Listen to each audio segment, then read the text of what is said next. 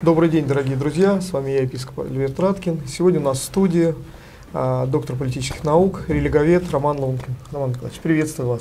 Приветствую вас, Альберт. Очень рад э, снова быть у вас в гостях. Ну, сегодня вот вживую, не по Zoom, а в студии сегодня. Да, ну, вживую это как раз э, наиболее востребовано. Люди просто уже хотят. И я тоже устал от Zoom. Да. А, сегодня вот я предложил вам, да, мы хотели бы обсудить, наверное, на якунинских шестых чтениях вот доклад Александра Солдатова, известного, а, не знаю, религовед Я, к сожалению, вот, ну, мало знаком с, со всеми, кто участвовал в этом, э, в этих чтениях, вот, но я прослушал весь доклад не один раз, и мне, мне ну, понравился. Вот, что, что вы увидели в этом докладе? Ну, прежде всего, нужно понимать, что это такое как мероприятие правозащитное и э, идеологически направленное. Это Якунинская конференция была, где прозвучал доклад Александра Солдатова, э, и конференция Якунинского комитета. Я так понимаю, что это часть э, московской хельсинской группы, -huh. э, и э, в том числе там сотрудничают с, с мемориалом. Вот, по-моему, нужно, нужно говорить, что это, что эта организация признана иностранным агентом у нас. Там а, мемориал был разве? Э, ну, ну, мне кажется, что да, мемориал признавали какой-то такой организацией. Хорошо, но при этом, но при этом это, это просто полагается вот везде в СМИ говорить об этом, но при этом можно замечать, что организация сама не признает этого статуса. Угу. А, соответственно, э, это мероприятие прежде всего как бы не научное, а скорее публицистическое, такое идеологическое и, и правозащитное. Соответственно, Александр Солдатов, э, главный редактор э, портала Кредо.ру, и э, ну, главная заслуга Солдатова, по, по, по моему мнению, это то, что он стал, он, он основал первое такое и, в общем, самое популярное на начало 2000-х годов, на 2010-е годы церковное или около церковное СМИ uh-huh. в, в интернете. Такой самый главный портал. И где-то до появления там, портала «Православие и мир» никакого другого портала вообще не было. Вот, вот такого рода. И действительно, это был как бы вот есть там вся мощь Московской Патриархии, есть портал Кредо.ру. Uh-huh. А сейчас ситуация изменилась. И как раз, ну, мне кажется, что и реакция на доклад вот, Солдатова, и сам доклад, он а, тоже а, ну, вот говорит об изменении вот этой ситуации uh-huh. там вокруг э, и портала Креда, и Солдатова, и вообще ситуации с оценкой э, э, церкви, церковной структуры Московской Патриархии. И я рассматриваю этот доклад э, как часть, э, что ли, общей, э, вот общего восприятия церкви в современной России. Дело в том, что церковная жизнь за последние 20 лет значительно усложнилась. Появилось и новое поколение э, духовенства, и э, молодые епископы, которых достаточно много назначил, там несколько десятков назначил и рукоположил э, патриарх Кирилл с 2009 года. Э, соответственно, в церкви появилась там масса социальных и культурных, образовательных проектов. Uh-huh. И, в общем, э, в, в рамках социального служения церковь особенно стала флагманом э, среди всех общественных организаций в России. Ну, а всех остальных-то и вытолкнули. Вот я говорю, а, нашей знаю ситуацию да. по протестантским, выдавили отовсюду из да, всей социальной часть, работы. Вот часть вытол, вытолкнули. И я как раз тоже писал о том, что церкви в каком-то смысле повезло. Э, что, э, значит, во-первых, ее как бы не удалось, что ли, государству совсем уж э, там реформировать сверху и, по, и подстроить под себя. В том числе потому, что некоторые моменты оказались эм, ну, невозможно сделать теократическое государство в России, uh-huh. так, вот такую теократию. Оказалось невозможно ввести э, значит, полностью преподавание основ православия в школах. Ну, объективно говоря, там 20-30% выбрали эти основы православия, все, на этом все, как бы эта граница была достигнута. Ну, сейчас же увидели и заговорили, по-моему, митрополит Иларион заговорил, что надо вообще в детские сады начать внедрять уже основу. Ну, да, ну, как бы с, с точки зрения церковной иерархии, и верующие, конечно, хорошо бы, чтобы дети и э, в детском саду имели такую возможность факультативную с разрешения родителей, э, изучать как бы основы веры, там, детскую Библию читать. Вообще это а чудно звучит в детском саду, факультативы. Ну, а, это, ну, для, ну, факультативы для с, группы, для с той точки зрения, что родители сами ведь должны написать разрешение, угу. что я разрешаю моему ребенку читать детскую Библию. Угу. Ну, почему? Я, например, не против был бы, чтобы ребенок э, в детском саду э, смотрел картинки и ему рассказывали бы по детской, по детской Библии, что такое Ветхий, что такое Новый Завет. Ну, это плохо разве? Нет, запараллелить со школой, тогда надо и Коран читать, и буддийские книги, да. и иудаизм.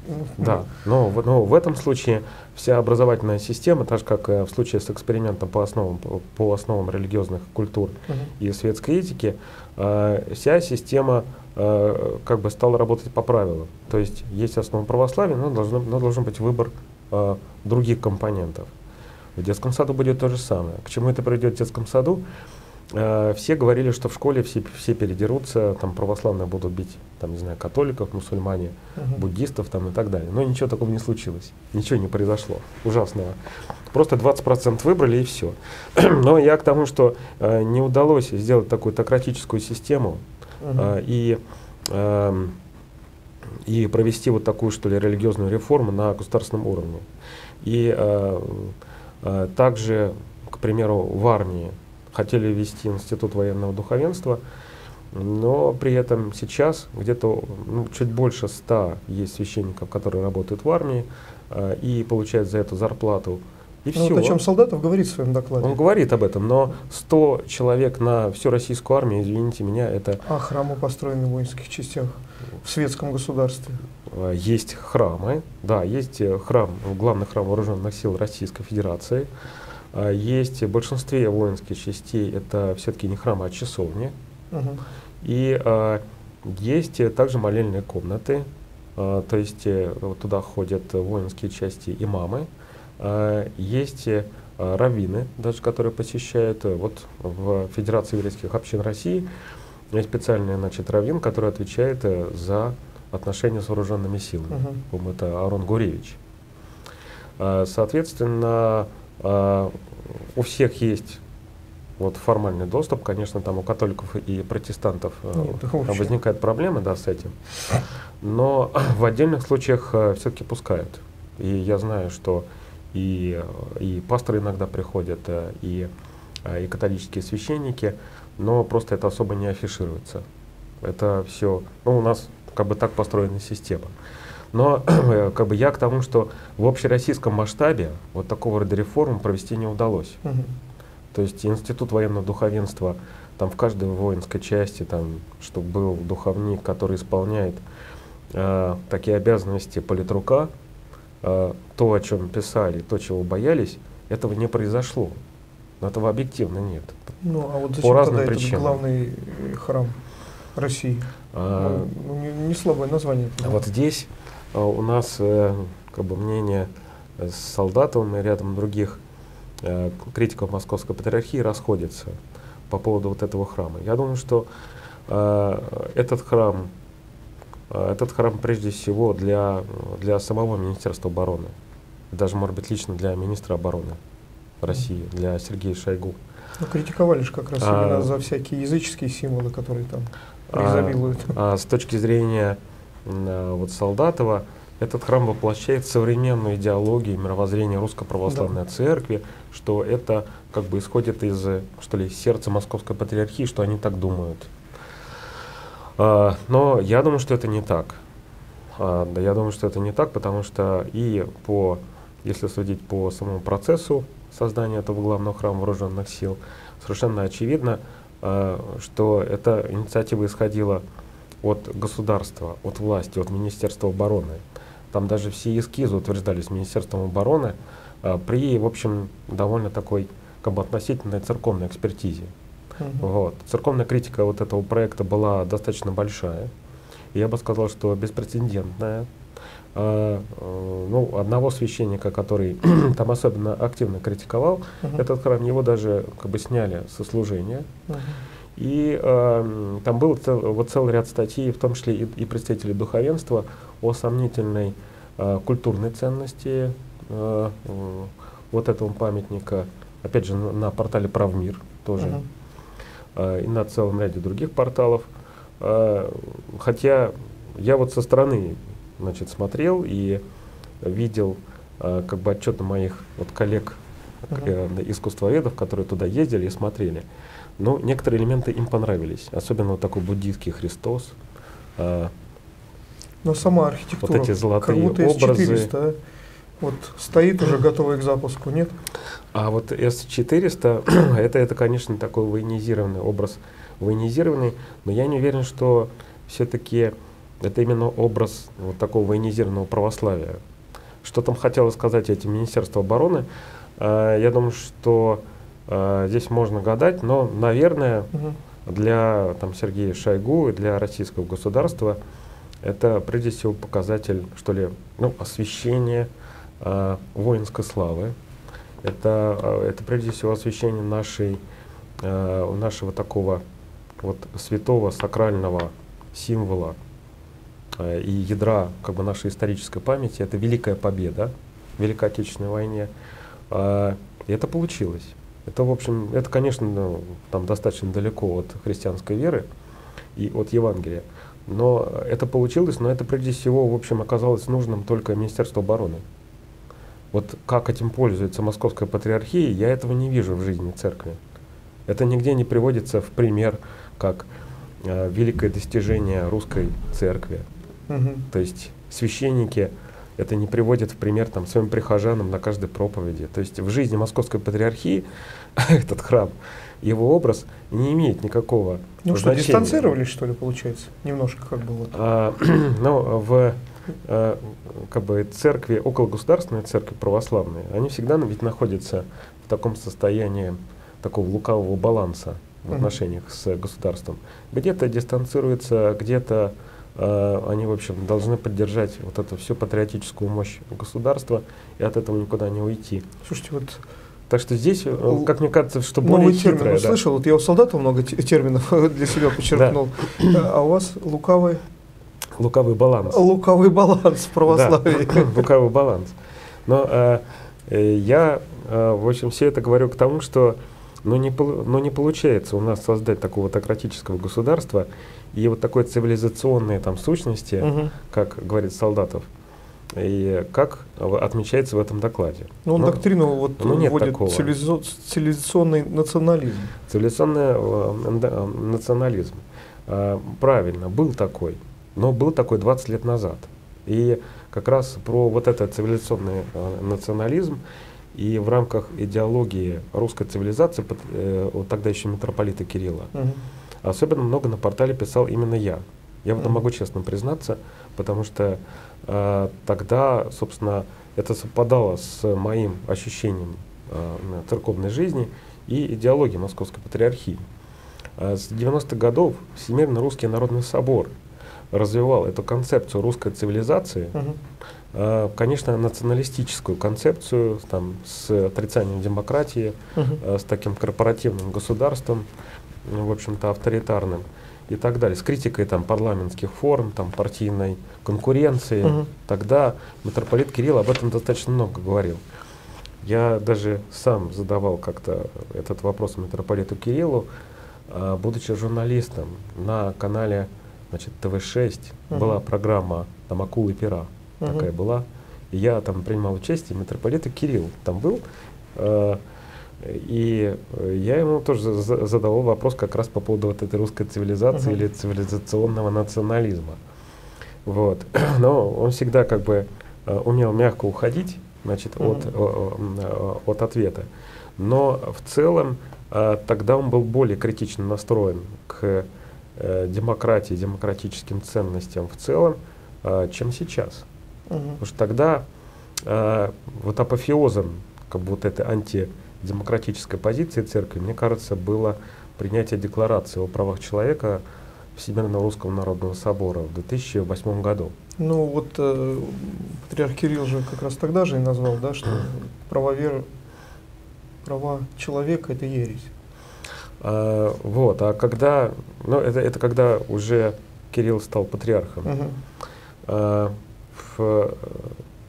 когда вот патриарх Кирилл как бы заявил о том, что там права человека это, это ересь, это было как раз в начале понтификата, uh-huh. как сейчас говорят, по католической традиции. патриарха нашего, то тогда ведь возникла достаточно большая волна. Мгм.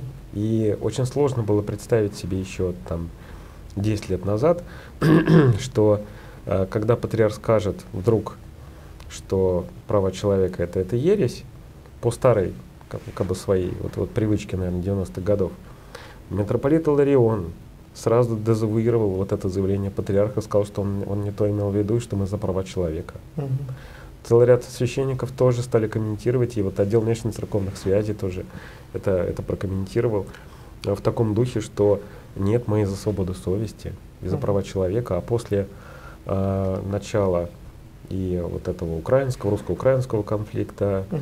И, эм, э, и, и войны в Сирии на Ближнем Востоке, когда там католики, православные стали вместе защищать там права христиан, и в Европе, и, и, и, и, эм, и на Ближнем Востоке, то тогда тема прав человека и свободы совести стала главной э, в риторике Московской Патриархии. Мгм. Знаете, это, это изменение, по-моему, радикальное очень Мгм. ну, с моей точки зрения. Конечно, и поэтому эм, я считаю, что, э, значит, во-первых, э, э, вот, так- вот такое приписывание, что ли, патриархии военизированного образа православия, э, национализма, Мгм. вот этой концепции уже устаревшей русской цивилизации, это, это все это все дело прошлого, это все устарело. Но вам не это кажется, все что автор... 20 лет назад было и прошло. Ну, мне кажется, что автором вот, вот всего этого все-таки, не знаю, вот взгляд со стороны, что все-таки Дугин является автором всех этих конструкций и теорий. Национализм, всех цивилизаций наших, русских, православных. Э, Ну, Александр Дугин, да, такой цивилизационист и э, евразиец. Мгм. И э, здесь есть несколько, несколько таких пересечений э, с Дугиным. Но э, дело в том, что А кто еще философ вот в православии из известных, кто бы мог предложить такую концепцию? ну, Почему Дугин Кирилл тоже взял её? условно, условно православный философ, потому что Дугин одно время был и, и старообрядцем, Мгм. и э, ну, сейчас, наверное, православный. Но в целом его, вот эта дугинская теория, она как бы, эм, она, что называется, где-то рядом стоит с православным мировоззрением, все-таки Мгм. не совсем с ним сочетается. И дело в том, что еще в 2000-е годы э, э, оказалось, что церковь не может быть э, вот столь э, как бы националистичной, да? Мгм. что в церкви не может быть только русского национализма. Русская православная церковь все-таки церковь э, всего российского народа с, как говорит солдатов, с им- с имперским мышлением. А имперское мышление подразумевает э, присутствие самых разных наций э, на- внутри церкви. И, а, а, в общем, восприятие и диалог с любыми народностями, там коренные народы России, и в том числе, кстати, э, иммигранты. Э, Именно поэтому у Русской Православной Церкви, в общем, не было никакой, никогда не было никакой анти, а- антииммигрантской риторики. Именно, именно поэтому, потому что для церкви это совершенно невозможно. И, и особенно в России. Но, с другой стороны, церкви невозможно отпустить кого-то, ни белорусов, ни Украину. Вот с имперским мышлением-то. Это все А. наше, это все мое. Ну, а, с, с точки зрения э, как бы, как бы, э, российского государства и у многих, и многих россиян, конечно, довольно сложно сказать, что Украина это уже другое государство, совершенно другое общество, другая культура. И а, мы хоть и братья, но такие уже отдаленные. Но с Украиной, к сожалению, это постепенно вот так и получается. А, С Белоруссией мы братья, я надеюсь, что а, в будущем так и останется. Как оно будет в политическом отношении, это, это большой вопрос, вот, который будет разрешен, наверное, в ближайшие э, года два. А, И, а, и в связи с такой имперской позицией церкви, как э, церкви всего российского народа и самых разных национальностей, а, совершенно невозможно для церкви а, заявлять только одну позицию русского национализма. Поэтому и Дугин для церкви неприемлем. И концепция русской цивилизации, которую развивал митрополит э, Кирилл, она в конечном счете переросла э, в концепцию сначала восточнославянской христианской цивилизации, о, которой, о которой стал достаточно много говорить, а, патриарх Кирилл. А затем, особенно после объединения зарубежной церкви и Московской патриархии, это превратилось в идеологию русского мира, о котором особенно активно стал говорить патриарх Кирилл и, и Путин, ну, может быть, с разными акцентами, потому что для Путина это соединение там, белых, красных, имперского, советского и нынешнего времени, как бы величия в самых разных периодах нашей истории. Для патриарха Кирилла это, э, это такая несколько э, вот историосовская концепция, которая включает в себя а, именно такую э, вот православную цивилизацию и принадлежность самых разных народов к русской культуре. То есть, опять же, это не русский национализм. Угу. Ну, большая критика этой теории идет везде, в постсоветских странах. Да, поэтому, поэтому я неоднократно говорил, что после 2015 года э, э, русский мир вообще исчез из, из риторики Московской патриархии и, патриарха Кирилла.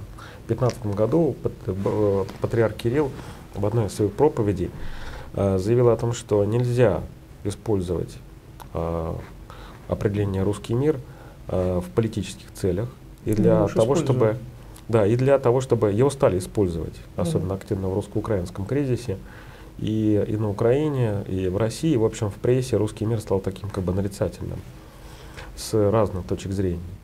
А, ну, не только Средняя Азия. А на Украине это стало, а на Украине это, это стало даже символом как бы агрессии. Агрессия, ну, да. ну как и в, и, и в Европе, и в США.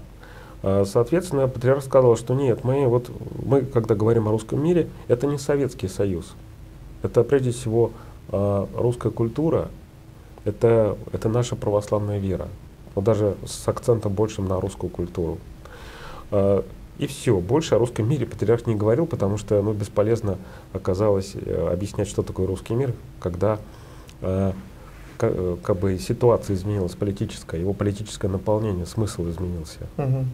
Но опять же этого никто не заметил, и все равно критики Московской патриархии, ну, uh, они говорят об одном и том же там последние 20 лет. Вот я, например, вам изложил сейчас эволюцию вот этих концепций там, от русской цивилизации uh-huh. до русского мира. Uh-huh. Это же прошла целая эволюция, естественная, совершенно естественная, потому что патриарх, когда стал главой церкви, ему нельзя было там только говорить о чем-то восточнославянском или о чисто русском. А патриарх это всегда такой медиатор между разными направлениями. Uh-huh. Нужна была бы а, нужна была концепция еще более как бы общая для а, вот, управления всем церковным пространством. И, она, и она появилась, эта концепция. Mm-hmm. Не замечать этого как бы нельзя, но а, есть идеологическая позиция, которая вот этого не замечает. Я бы сказал, что а, есть, а, есть целый ряд вот таких как бы критиков а, на русской православной церкви, а, которые там либо не понимают, либо, не, э, либо сознательно не замечают, угу. либо вообще как бы не могут воспринять то, что происходит. Вот все то многообразие, которое сейчас есть в, Знаете, в православии. Я ловлюсь на мысли, может быть потому, что очень сильно вот даже идея этого русского мира а, военизировалась. А. Вот после украинского кризиса особенно. Все побаиваются, вот знаю ситуацию, и э, в Средней Азии, в республиках, ну, в государствах теперь, все же понимают, что такое русский мир. Это русская, русская православная армия, да. это война, это навязывание. Вот, может быть, здесь страхи? Так э, поэтому я и говорю, конечно, концепция русского мира военизировалась. И э, именно так она теперь вписана в нашу э, вот такую патриотическую, что ли, значит, концепцию нашего государства. Но при этом, именно поэтому церковь и отказалась от, от определения русский мир. И сам патриарх от этого отказался. Таким образом, а, да, есть, э, ну, на Донбассе там были вот дружины, которые использовали, а, значит, православную символику, и, но при этом церковь официально никого не, не, не благословляла ведь. Ну как же нет, когда в монастырях прятались и собирались вот эти боевики, все как называют их сейчас. Ну, в монастырях прятались, Храмах, да, были такие случаи. Но при этом, э, ну, к примеру, как и сама Московская патриархия, так и Донецко-Луганская епархии угу. никогда э, официально никого не благословляли и всегда занимали такую как бы ну, среднюю позицию. За это их критиковали и, э, и на территории Украины, и с территории Украины, и критиковали значит, в ДНР, ЛНР, что они с ним не поддерживают вот таких отношений, не благословляют все их акции там, и так далее. Ну, простой глубинный верующий да. народ всех этих тонкостей не понимает. Все же видят, вот нашивка есть, и есть кто там. Значит, это вот и есть московский патриархат. Ну, это, это... Опять же, вот в докладе да. у солдата вот прозвучали... Другой вопрос. Несколько... Просто социолог-то должен разбираться. И, и, и религиовед, и, и, и говорить правду о том, кто к чему от, вот, э, э, значит, относится. Мало ли православных групп или там мусульманских, буддийских есть в, в мире. Ну, Надо понимать, что э, это, соверш, это совершенно разное. Да? Что официальная позиция одна, что официальная позиция она претерпевает определенную эволюцию, которой э, вот люди, которые как бы считают, что, что церковь вообще не меняется и она придаток государства, они вообще этой эволюции не видят. И более того, когда эта эволюция происходит, а сейчас она э, она видна, вот эта эволюция в церкви. Я бы не сказал, что э, ну, все-таки определенный перелом произошел, но пока в публичном пространстве все-таки церковь э, как бы недостаточно, что ли, изменила свой образ. То есть, э, ну, в ковидный год да. очень стало заметно, как э, даже по поведению президента и патриарха. Помните возложение там цветов? Uh-huh. Президент один был, патриарх отослали куда-то аж на Поклонную гору. Один стоял, вот кадры эти но для меня это были какие-то как сюрреалистические. Один брошенный, никому не нужный вот этот патриарх московский. Ну, при всем уважении, при всем, но вот так выглядело, что государство поиспользовало церковь и дистанцировалось. Вот за весь год-то так и было. И вот последняя риторика, вот я опять к докладу возвращаюсь, когда некоторые священники, вы, вы знаете, да, и э, вот он приводит слова там, э, мы потерпим, нам не впервые, вкладывайте больше милитаризацию. Кого он цитирует? Да? А, диакона какого-то Илью Маслова. Ну и некоторых других еще священников, которые вот действительно говорят об этой военной теме. А, ну, вот об этой военизированной тематике там есть, э, там, безусловно, какое-то количество духовенства, которое, а, что ли, это для нее конек, вот это, вот эта военная православная тематика. Но э, церковная жизнь, вот в целом, все-таки протекает в совершенно другом направлении. Угу. Это я сужу по э, развитию там, отдельных епархий с молодыми епископами э, во главе, по развитию общинной жизни. Опять же, по тому количеству социальных проектов, которые ну, стали действительно э, там, прорывными для, для церкви, потому что раньше этого не было. Угу. Волонтерское движение. Да, как я вот, вот, вот всегда говорил, что э, в начале 2000-х годов э, самыми социально активными были протестанты, евангельские угу. церкви, и именно они были, что ли, пионерами социального служения и в работе с группами риска, с наркоманами, там, угу, угу. с алкоголиками там, и так далее. А теперь э, все, теперь русская православная церковь обогнала значит, протестант, э, на протестантов вот в этой сфере.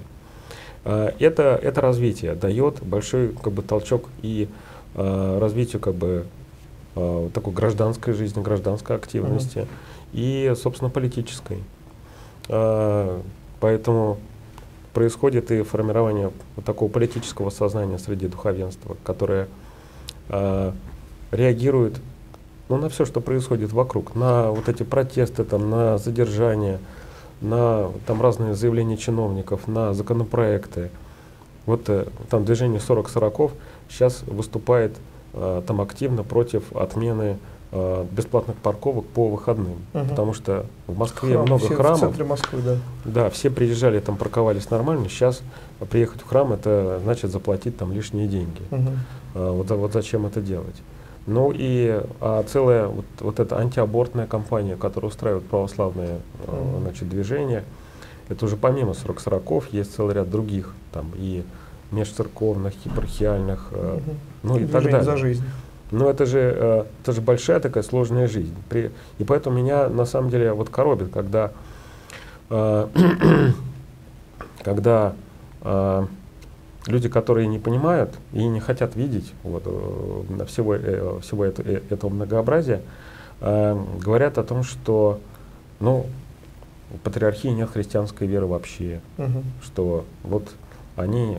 они Но вы думаете, в докладе вообще... у Солдатова прозвучало разве так? Да, безусловно. Я, я ну, мне показалось, смотрел что... видеозаписи, Угу. там он прямо говорит о том, что э, это же не христианство, это не вера, это вот такая как бы там квази патриотическая государственная мифология, вот, и что, и, и что патриархия вообще это, э, это собрание каких-то там мифологов, Ну, вот, может быть, а, а не, а не верующих людей. Тема просто иконических чтений была немножко другая, как раз рассказать о, о трудностях, о гонениях, о проблемах, которые существуют. на самом деле, понимаете. Я вот э, слушал и думал, что, ну, а если, э, что если бы я не знал, что это солдатов и что это, что это именно, именно доклад э, о там религиозной свободе, Мгм. я бы подумал, что это какая-то вот такая антирелигиозная пропаганда.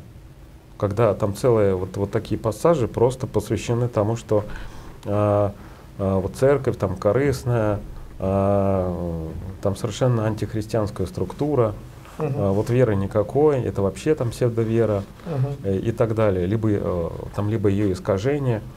Но мне кажется, что это несколько все-таки перебор Ну, с такой, смотрите, вы с сказали такой ан- антирелигиозной риторикой. об общинной жизни, да? Причем совершенно в советском стиле, понимаете? Вот это меня всегда просто убивает.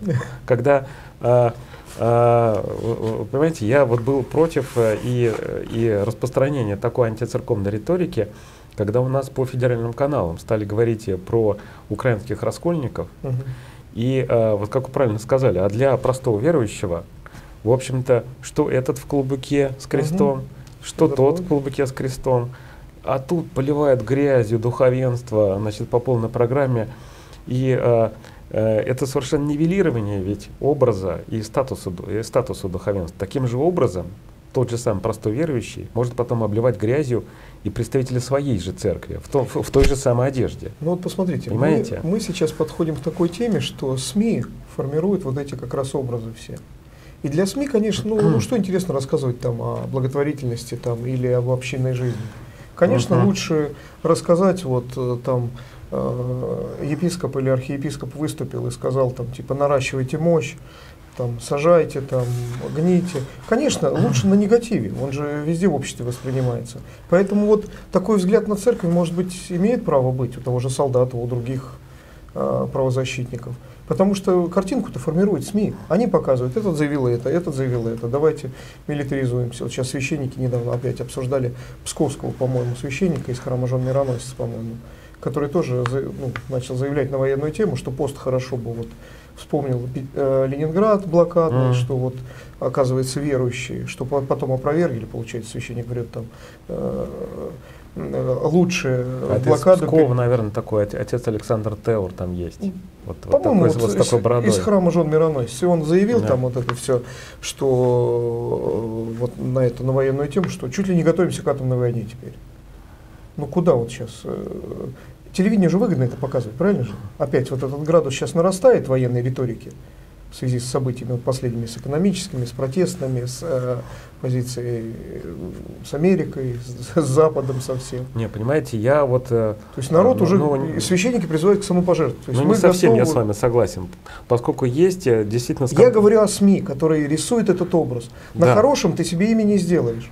А на плохом, и вот на таких резких заявлениях, это же идет, но это расходится по всей стране. А, есть, и э, отсюда картинка. Не, вот понимаете, у есть меня, э, скандальные заявления, скандальные заявления, которые очень хорошо расходятся в СМИ. Это совершенно естественно, это будет э, как бы всегда. А понимают Это. люди, что оно скандальное? А, Или оно вот такое, ух ты, Но- ничего но себе этом- священник заявил. но при этом говорить о социально-культурной, там, богословской жизни, э, ну, прежде всего, все-таки о присутствии церкви в публичном пространстве, можно интересно на светском языке. Мгм. То, чего как раз и не хватает и на федеральных каналах, и на православном телеканале, там на любом, от. Спаса до Мгм. Союза. Да? Это, этого совершенно не хватает. Но говорить об этом можно интересно. Но ведь э, вот про Кураева сняли интересный фильм на Russia Today. Мгм. А вот Антон, э, Антон Красовский. Сняли, и, в общем, это действительно было ну, информативно, интересно для всех Мгм. вот этот фильм о, о Кураеве. Хотя там ничего скандального вообще не было. Просто ходил какой-то человек такой хромающий, бедный. Ну, конечно, это на фоне скандала вокруг Кураева. Это Мгм. тоже как бы скандальная тематика. Но можно интересно сделать э, вот Ну, не по-разному. скандально, хайповый больше, скажем так. Ну да, такая как бы хайповая. Потом, э, ну, э, целый ряд публикаций в, в прессе. Э, ну, я могу привести пример, опять же, тот же самый «Православие и мир», uh-huh. где даже социальные проекты достаточно интересно обыгрываются в рамках интервью и разного рода акций. Да. Uh-huh. Ну, сам сайт отдела социального служения и благотворительности декания.ру, милосердие.ру, ну, реально очень интересно все это читать и, все, и, и все просматривать. Я, к примеру, э, смотрю и сайты, и телеграм-каналы, там, приходы, uh-huh. приходы.ру, э, там целые вот видеоблоги батюшек, uh-huh. тот же самый там вот блогер Николай Бабкин, священник, э, которые, в общем, ничего скандального не говорят, но это же интересно. Интересно, безусловно, это таким нормальным языком все рассказывается. Вот что, ну, интереснее как Смирнов есть. был. Намного интереснее простых людей. Там а, все было с огоньком. Но это немножко разная, мне кажется, аудитория. А, и, а, понимаете, я вот, э, значит, и, и хотел с самого начала сказать, что, что солдатов э, и вот этот доклад, это часть ну, вот, вот такой кампании, а, которая а, ну что, очерняет церковь, что ли? Которая что? производит критику в адрес церкви с, с разных позиций. Я, я против вот такой э, идеи заговоров или, или специальных кампаний, которые uh-huh. проводятся на, на общероссийском уровне. Но, но ясно, что есть вот определенное количество таких людей, э, которые уже привычно говорят о том, что церковь сращивается с, с государством, что это ужасная патриархия, что церковь сдулась. И, понимаете, сказать это достаточно просто.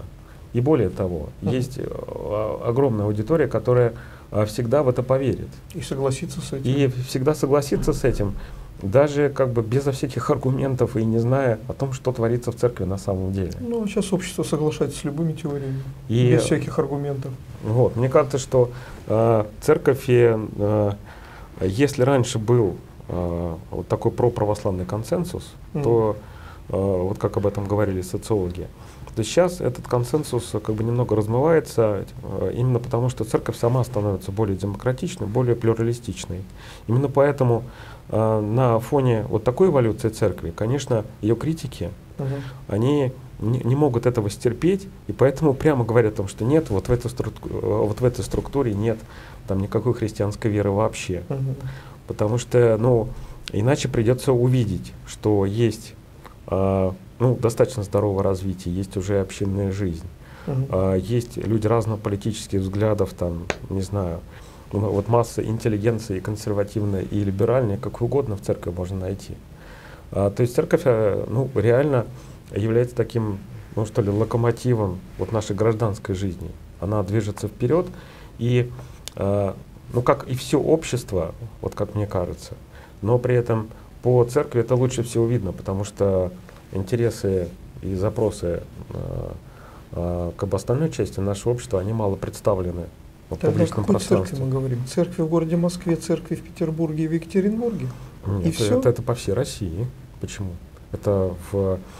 Э, ну, отъедьте чуть подальше, копните, да, увидите что-то Вот такое. копали, отъезжали и видели, что, что практически в каждой области России, в каждой епархии намного больше такого активного молодого духовенства, чем, э, чем раньше. Угу. Это, безусловно, мало. Вы как религовед сейчас говорите, да? Ну, как социолог, да, угу. который участвовал реально в полевых исследованиях. Угу. Конечно, этого меньше, на, если как бы представлять весь масштаб и угу. все, э, как бы все 140 там, с чем-то миллионов наших граждан, но при этом и других ведь активистов достаточно мало. Вот эти критики э, вот церкви, угу.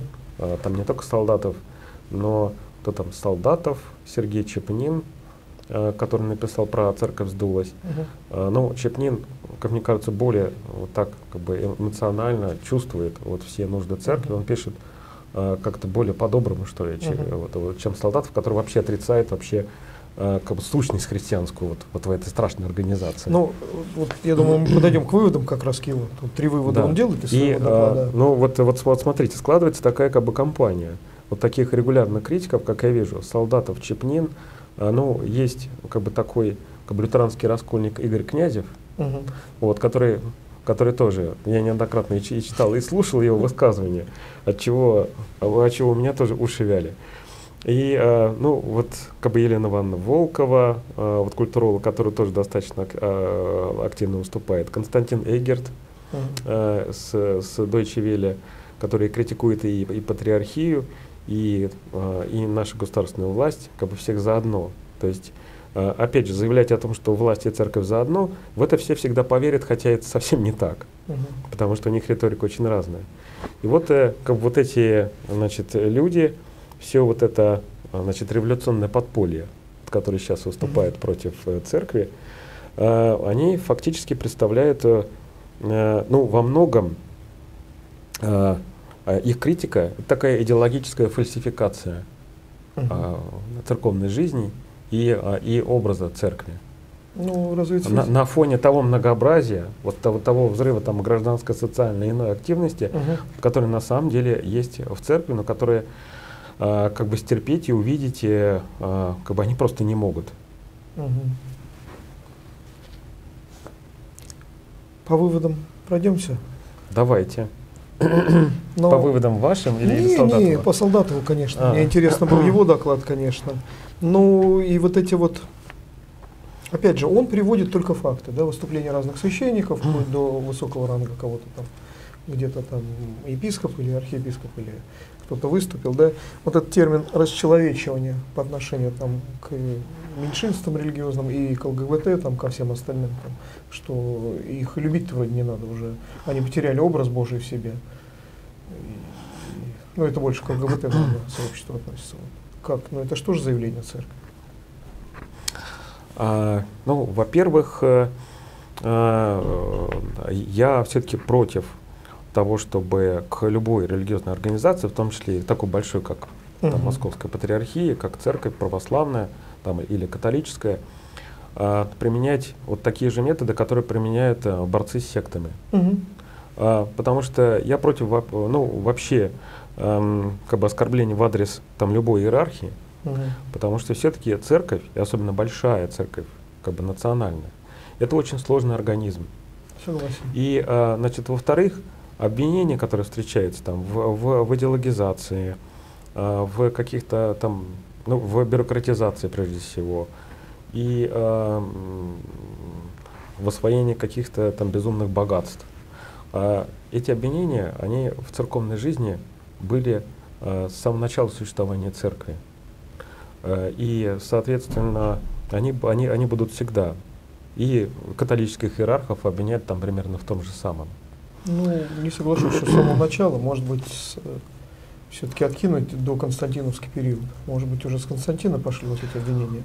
Ну вот я, я опять же не согласен, как, э, как человек с историческим образованием, учившийся на кафедре истории Древней Греции и, и Древнего Рима. Так. Э, поскольку, ну, э, ну вот Иуда, например, Искариот, он тоже хотел заработать на, вот, он был управ делами, угу.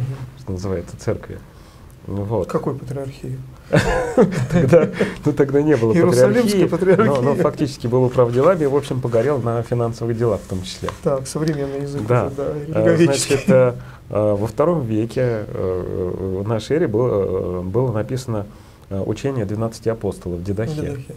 И там тоже описывается, в общем, ситуация, когда там стоит принимать э, значит, людей в, э, в общину, когда приходят те, кто просто хотят там нажиться а, и не хотят работать, их тоже, в общем, нужно через три дня или, или через два отправлять, восвоясь к ним домой. Uh-huh. То есть уже, в общем, ну, есть, а, то есть возникают такие вот определенные требования, которые направлены на поддержание чистоты, что ли, церковной жизни.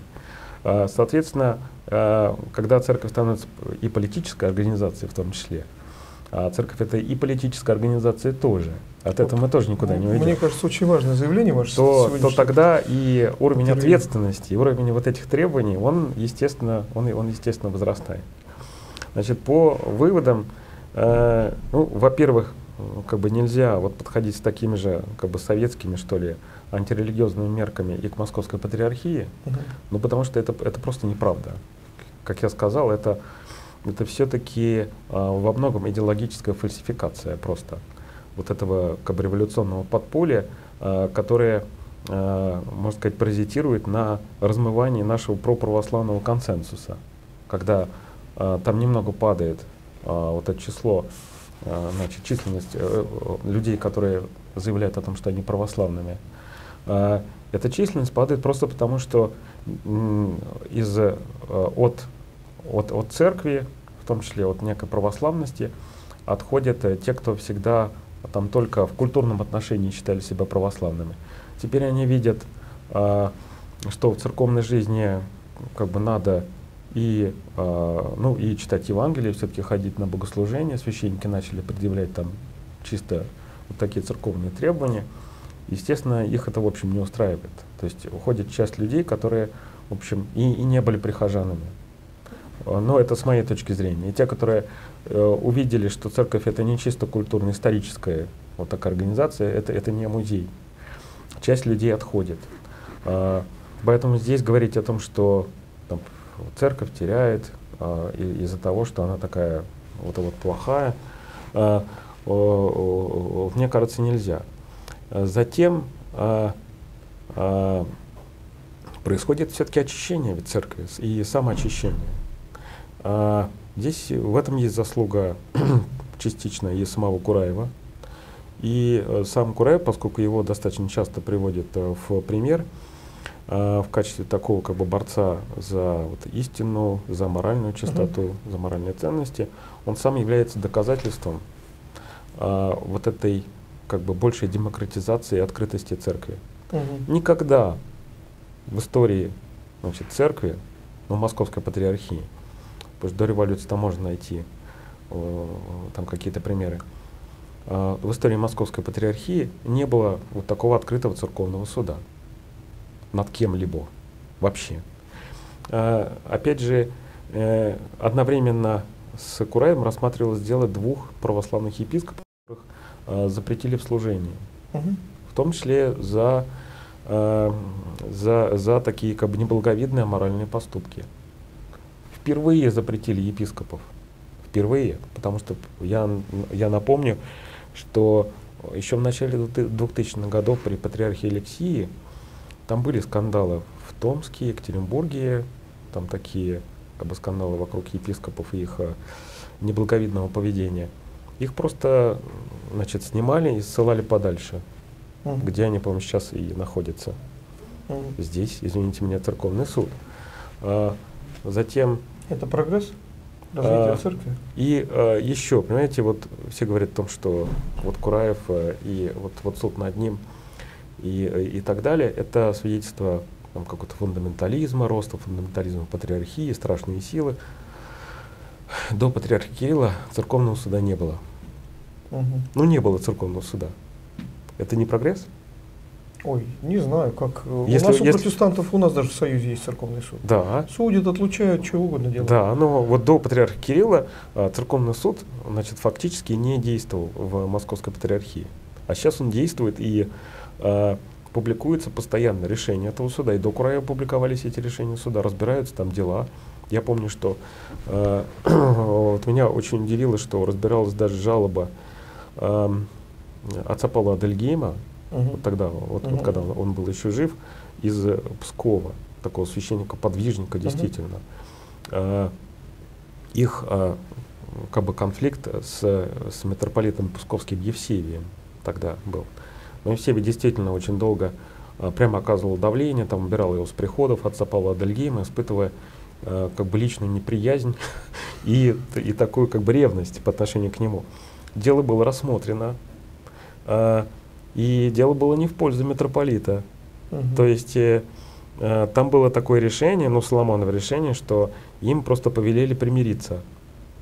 То есть митрополит не выиграл дело. Угу. Ну, это, это было уже как бы давно, но это было одним из показателей того, что суд, э, что суд работает. Извините меня, но такое широкое обсуждение вот этого судебного процесса вокруг Кураева, а, конечно, это заслуга самого как бы, Кураева там, в том числе, но это свидетельство, в общем, как бы изменения и, и внутри, э, и внутри Московской Патриархии. Выдавать это за а, какой-то обскурантизм, то, что происходит – как мне кажется, это опять же идеологическая фальсификация угу. революционного подполья критиков церкви. Ну вот акции Кураева выросли. Я знаю, по-моему, Юрий Кирилл Сипко недавно пригласил его.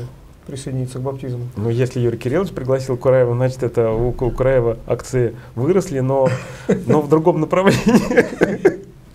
Ну, не знаю. В таком протестантском мы, мы готовы направлении. принять в.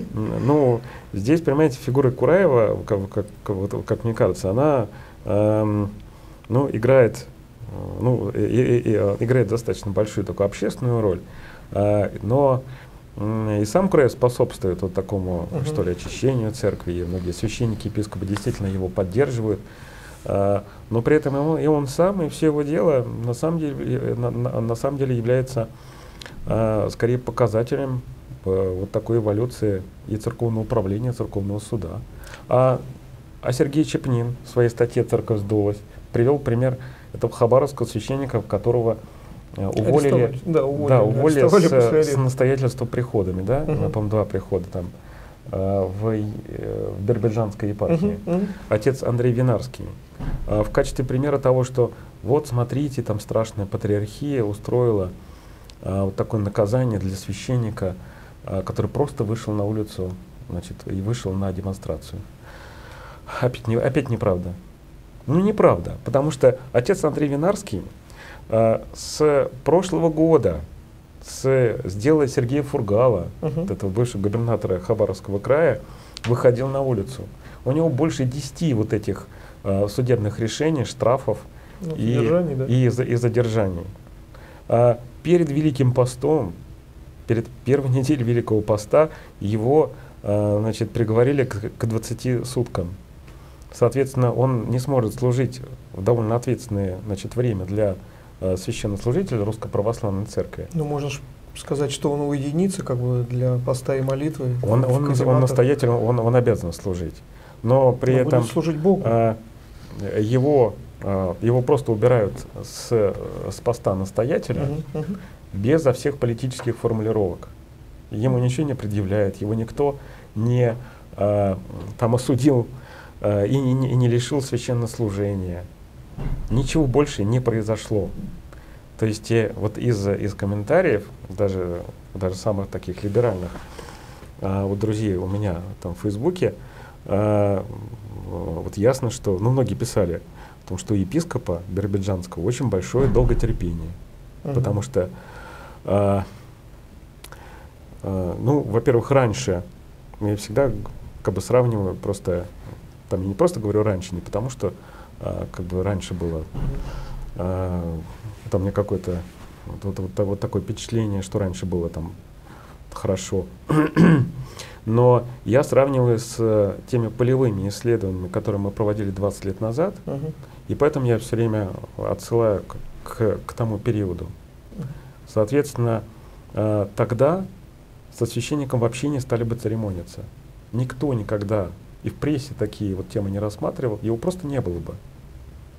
А здесь, э, извините меня, священник выходит и будет выходить Мгм. а, с этой шапкой, там я, мы и Сергей Фургал, при этом на устах его печать, ни одного политического слова отец Андрей Винарский вообще не сказал, поэтому епископу, извините, придраться даже не к чему. Соответственно, вот вам ситуация. Она же более сложная, чем просто патриархия плохая. Мгм. Согласитесь. Соглашусь.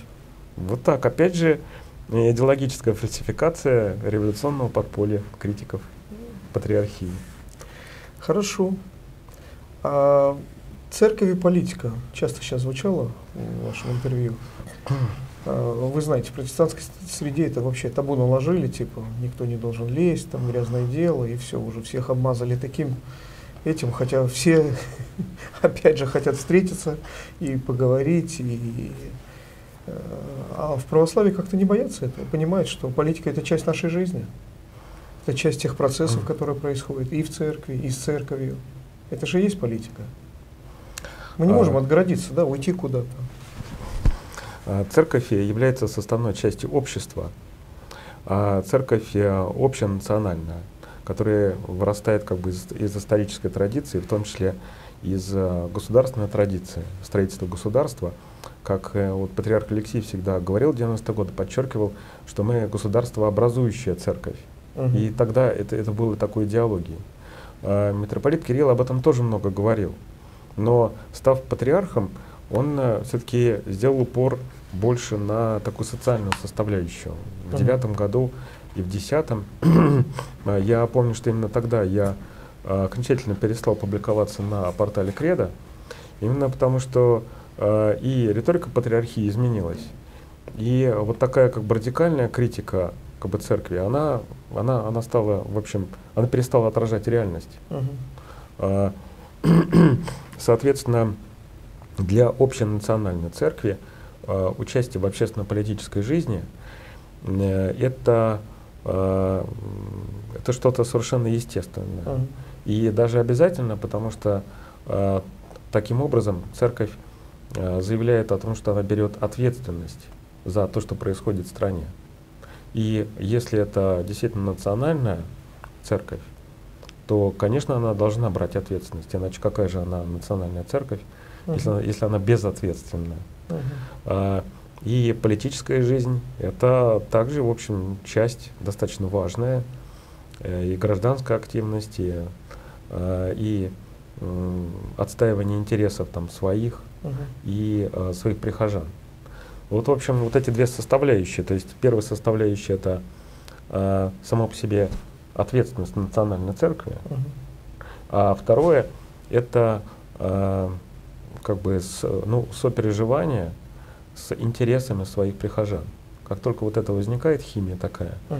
то тогда Э, и церковь, естественно, участвует в политической жизни через своих представителей, будь то священники, которые там выступают за милосердие, будь то там отдельные прихожане, которые там вступают в партии или, или идут с, с какими-то плакатами на улице. Э, это, это, безусловно, происходит, потому что это естественное, что ли, э, вот логическое вот такое движение – э, связанные с защитой своих же прав и интересов. Uh-huh. Если это затрагивает мою жизнь, там, мою семью, мою работу, также, ну, не знаю, мой приход и территорию вокруг храма, uh-huh. мой район, то почему я должен от этого отказываться? Я должен отдавать это кому-то еще, а я тут живу, я сам должен нести за это ответственность. А, ну, э, я думаю, что в, э, у членов протестантских церкви и самим пасторам это, это, это ощущение также известно. И не только известно, а более того, опять же, когда я брал интервью у там, десятков и сотен пасторов, uh-huh.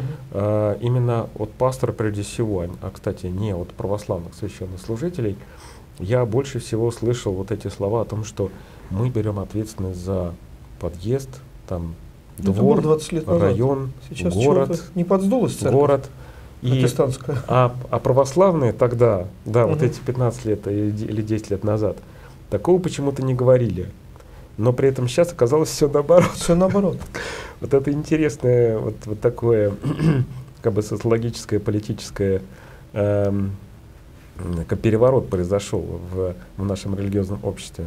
Вот, э, ну, может быть, у вас есть ответ на, на этот вопрос, нет, почему? У меня нет ответа. Ну, я пока тоже не готов, вот не готов это, это объяснить. Вот объяснить, почему, э, почему революционное подполье выступает против патриархии, я могу. А вот почему э, произошел такой вот как бы смена позиций, там православие стало именно граждански и политически активным и взяло на себя ответственность за общество, а протестанты, а протестанты сдулись. Да, вот протестанты сдулись. Ну, может быть, и на меня тоже найдется критик, но э, действительно ну, протестанты да, сдулись. сдулись. Э, кстати, опять же, когда говорят э, о, э, о таком засилии вот одной конфессии или, или о неправильной такой религиозной политике в России, часто говорят, что у нас э, выделены вот эти традиционные религии, и все. Тоже неправда. Угу. Потому что в законе о свободе совести вообще нет термина традиционной религии. Там упоминается уважение к христианству, там в целом в том числе. Угу. То есть трактовать преамбулу закона о свободе, о свободе совести можно тоже по-разному. По-разному трактуют. И, а, а, и во-вторых, а, традиционными религиями у нас считается не только ведь православие, ну, из христианских конфессий, но и а, часть значит, протестантских союзов и их руководство, они тоже вполне традиционные, потому что они там в Совете при президенте, в Общественной палате и так далее. Ну, госслужащие на местах, к сожалению, этого не знают. Ну, скажем прямо. Ну, я бы сказал, Страна что... большая, а, в, чем дальше от Москвы, тем меньше знаний. А, в администрациях, а, вот губернаторских, ну там, где есть специалисты по религиозным организациям, там об этом очень хорошо знают. Но, может быть, не знают в других структурах. Угу. Либо, как бы, опять же, этот вопрос обходит, обходит стороной. Но, но при этом все равно есть преференции не только к православию. Я об этом так uh-huh. мягко хочу подвести к этому, что uh-huh. не только к, к православной церкви есть преференции, не только а, значит, э, к исламу, но ислам опять же разному. Там одни организации получают эти преференции, другие нет. Там буддисты, опять же, а кто у нас буддисты? Это бурятские, да? А, ну, Калмыки. Вот. А а получается, у нас еще вот Тува, да, ну, Тува, Тува благодаря Шойгу, там вроде бы вот хотят там тоже построить или уже построили ступу на, на, поклонной, э, на, на поклонной горе. Ну там шаманизм сильно Но развит.